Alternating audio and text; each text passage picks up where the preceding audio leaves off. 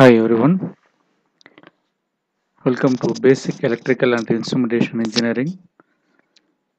In this session, we are going to discuss alternator, equation of induced EMF and voltage regulation. Before going to discuss uh, EMF generation of alternator, you must know some basic terms. First one is uh, Pitch coil or coil span factor. Actually, this is a turn. This uh, rectangle is a turn. This line. Turn means a conductor in one slot when connected to a conductor in another slot forms a turn. So, this is one slot. This is one more slot. Both conductors are connected there. In between this, that means in one turn, the distance between these two is called the pole pitch. Electrical angle is 180 degree.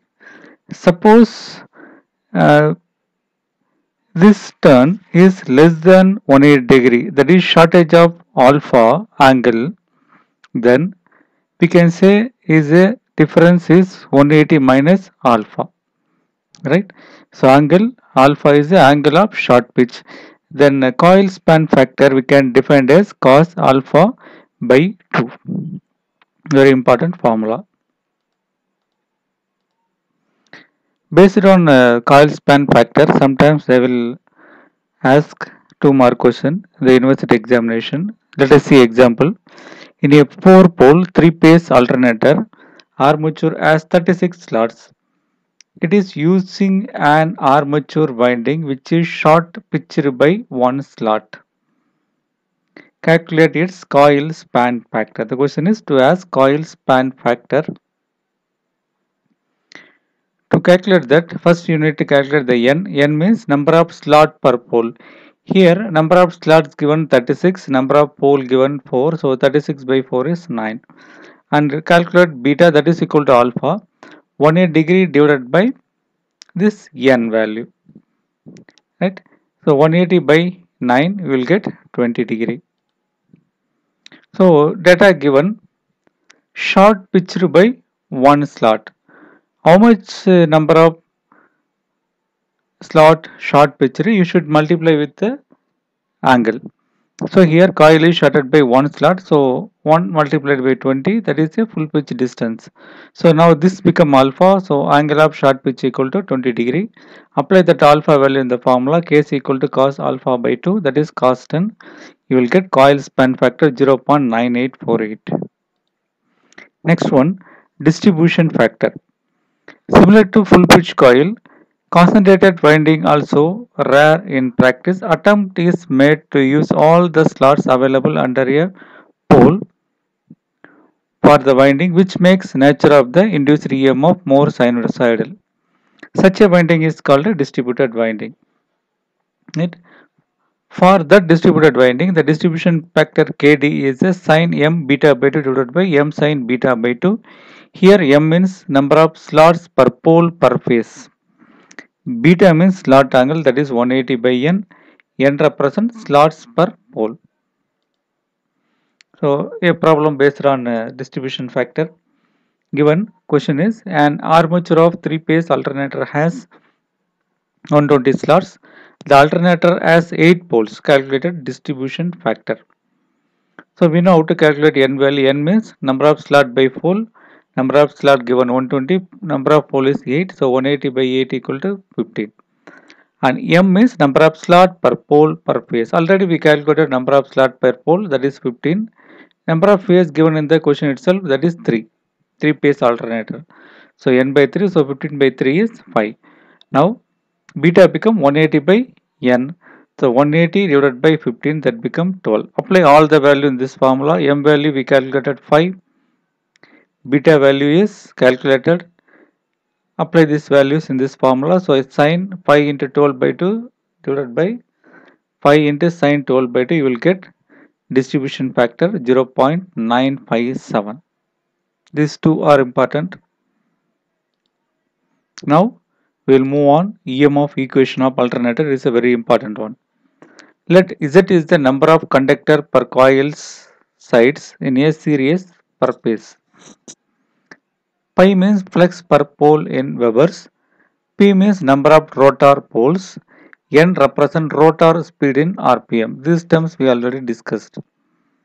In one revolution, one revolution means 60 by N second. Each rotor conductor is cut by P pi Webers. P pi means P is the number of poles, pi is the flux. So flux cut by number of poles.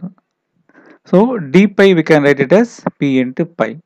Then dt we can write as 60 by n that is 1 revolution per second. Now the average EMF induced in one stator conductor we can define as d pi by dt. d phi we have p into pi, dt we have 60 by n. Apply that value. If you simplify you will get p pi n by 60 volts. It is the average EMF induced in one slot, one stator conductor. Next one. This is one stator conductor. If Z numbers of conductor in series per phase, then average EMF per phase is P pi n divided by 60 into the number of conductors. If I remodify this, P pi Z by 60 into n, n formula you know 120 by 120 F by P. Apply that formula here. So here if you apply this 60 and 120 we can cancel you will get 2 in the numerator and this both P and P are cancelled now you will get average EMF per phase is 2 F pi Z volt but in general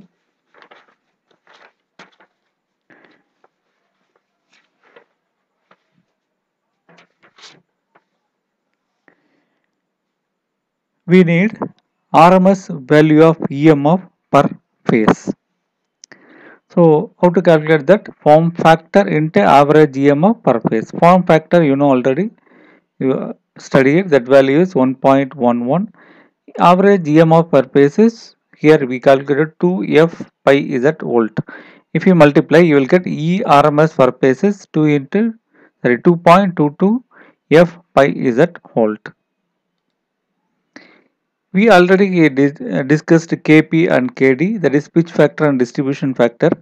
If you consider Kp and Kd in armature winding then E RMS per phase is 2.22 Kp Kd pi F Z volt.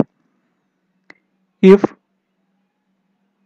T is the number of turns per phase that is T phase then T phase we can write it as Z phase by 2 from this Z equal to 2 into apply that value in the equation number 2 instead of z we can apply this one.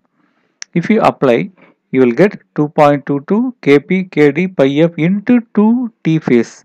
If you multiply you will get 4.44 kp kd pi f t phase. So this is the final equation of EMF generated in alternator or DC generator. Is a very important formula based on this some problems they will ask in the university exam. Uh, you should uh, know this term single layer and double layer winding. What is single layer? In a slot consists of only one coil side. This is the slot. In this slot, suppose you have only one coil side winding is said to be a single layer. Well, there are two coil sides per slot. Two coil side per slot one at bottom and one at the top. The winding is called double layer winding. Why we choose double layer winding? A lot of space wasted in single layer. Hence in practice generally double layer winding is preferred. Thus we analyze a problem based on EMF equation.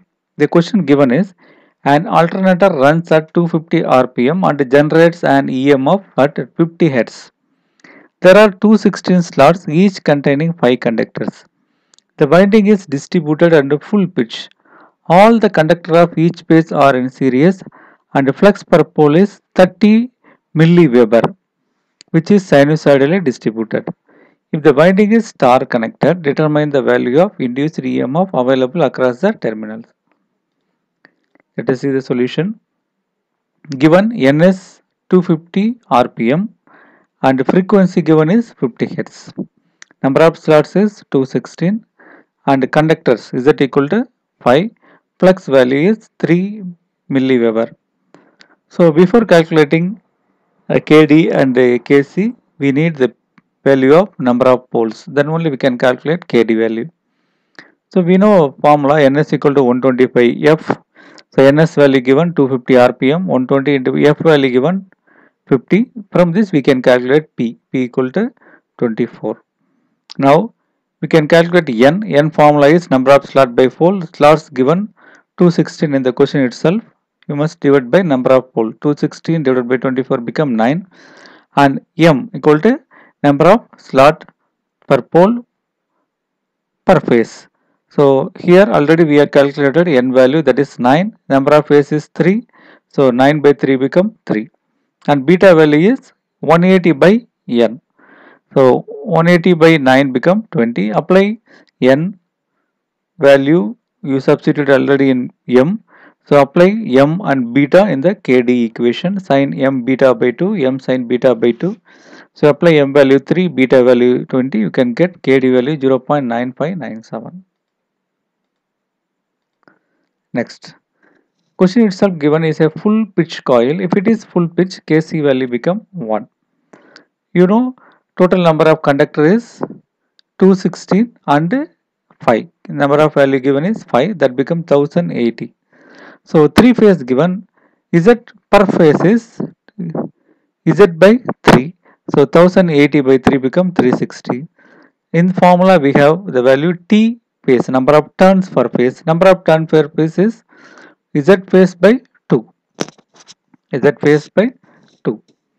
So Z phase we calculated 360. You must divide by 2. If you get uh, if you divide you will get 180. Apply all the values in the formula Kc is a full pitch value kd we calculated f value given pi value given t phase we calculated apply all the values 4.44 into 1 into 0.9597 into 30 into 10 power minus 3 into 50 into 180 you will get 1050 48.48 volt but actually we need a line value because in the question itself star connection given the line value of voltage equal to root 3 into phase value so root 3 into phase value we calculated 1150.48 volt. You must multiply. You will get the final EMF generated in line is 1992.70 volt.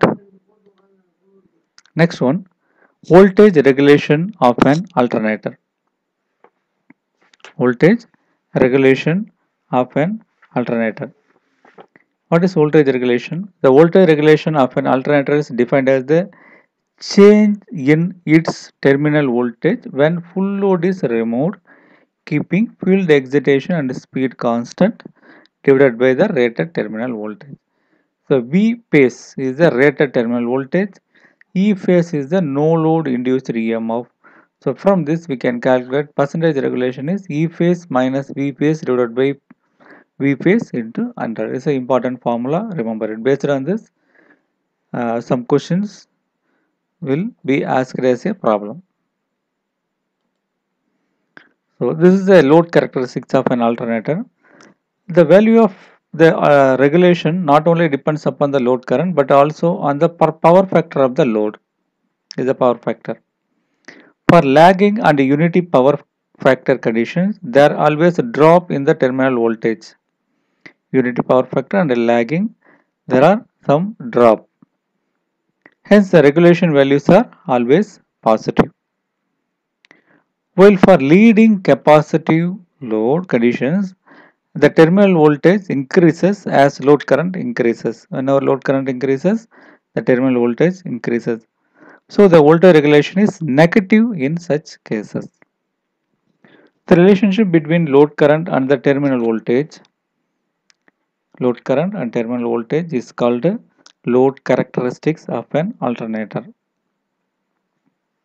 Right so the formula e phase square based on this power factor E phase square is V phase cos pi plus IA RA square plus V phase sin pi plus or minus IA XS square. You can put plus sign for lagging power factor load. In the question itself, they will give whether it is lagging power factor or leading power factor. Put plus sign for lagging power factor, put minus sign for leading power factor. And V phase, you know, per phase later terminal voltage, IA is the per phase full load armature current. Remember this formula, it's important. V phase cos pi IA RA square plus V phase sin pi IA x square, the plus or minus depending upon lagging or leading power factor. So we'll see example problem. A three-phase star connected alternator supplies a load of 1000 kilowatt at a power factor of 0.8 lagging with a terminal voltage of 11 kilovolt. Its armature resistance is 0.4 ohm per phase while synchronous reactance is 3 ohms per phase. Calculate the line value of EMF generated and the regulation at this load. So question is calculate the line value of EMF generated and the regulation at this load. So to calculate percentage regulation we need the formula E phase minus V phase divided by V phase into 100 and EMF generation formula is E phase square equal to V phase cos phi plus IA RA square plus V phase sin phi plus IA XS square. Right. As star connected given in the question, V phase is VL by root 3 that is 10 in 11 into 10 power 3 divided by root 3. This is a basic formula. Based on this, we need to calculate all the values. Uh, first, we need to calculate the value of A that is IA. So, P value given 100 kilowatt, cos pi is 0.8 lagging. VL value 11 kilovolt, RA is 0.4 ohm and XS value given 3 ohm. So RA means RA, armature resistance 0.4 ohms per phase and the synchronous reactance means XS, X value. So armature reactance, sorry, armature resistance is 0.4, reactance is 3 ohm. We know the power formula root 3 VL IL cos phi. P value given 100 kilovolt. So uh, actually 1000 kilovolt by mistake uh, typing mistake here. This is 1000 kilowatt. P equal to 1000 kilowatt. So 1000 into 10 power 3 equal to root 3. VL value 11 kilovolt. So 11 into 10 power 3 multiplied by IL cos phi value given 0.8 lagging. So apply that value. If you simplify, you will get IL value 065.6 ampere. Since it is a star connected, IL equal to I phase. So I phase value 65.6 ampere. So the question is to calculate phase EMF, right? So E phase equal to V phase cos pi IA RA square plus V phase sin pi IA XS square. So V phase has star connected VL by root 3. So VL value 11 kilovolt. So 11 into 10 power 3 divided by root 3. That becomes 6350.853 volt. Now, so we calculated V phase cos pi value we know 0.8. IA value just we calculated in the previous slide. RA value given V phase we calculated sin phi we can get from cos phi value. IA value we calculated XS value given. Apply all the values in this formula of E phase square. You will get the answer 6491.47 volt. Then 6491.47 volt. But we need line voltage. If if you need line voltage you can uh, do this. Otherwise no need of that in the question itself they asked to calculate line voltage then root 3 into E phase. That become 11.24 kilowatt. Our ultimate aim is to calculate percentage regulation. Percentage regulation is E phase minus V phase by V phase. E phase just now calculated 6491.47 apply that. V phase value also we calculated 6 6350.853 volt. Apply that. Divided by that same value. Multiply by 100 if you can once calculate in calculator you will get 2.214 percentage so lagging power factor loads the regulation is always positive So the regulation percentage regulation is finally 2.214 percentage.